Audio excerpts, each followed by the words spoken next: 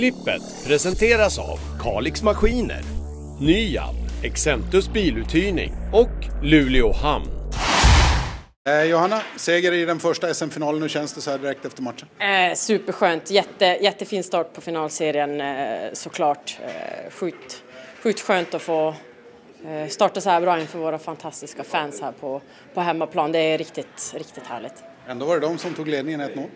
Ja, men det är som att det bekommer oss inte ändå. Det, det kan hända lite allt möjligt i matcherna men vi, eh, jag tycker att vi, vi har vuxit väldigt mycket under slutspelet och, och det är som att ja, kasta vad ni vill på oss så, så gör vi våran grej.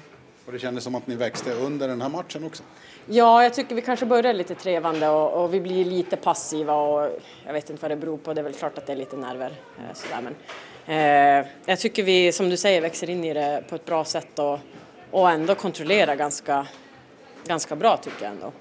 Och ett flertal härliga skottäckningar från dig. Vi tycker härliga, vad tycker du? Ja, det är alltid härligt när det gör lite ont.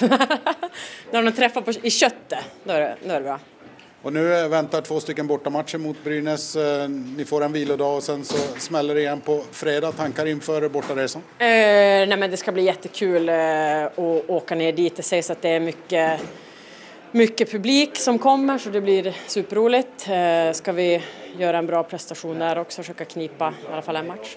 Och det här var en bra födelsedagspresent till kapten? Ja, en riktigt bra födelsedagspresent. Hon är, hon är grym. Vi, vi älskar henne. Vi älskar Jenny!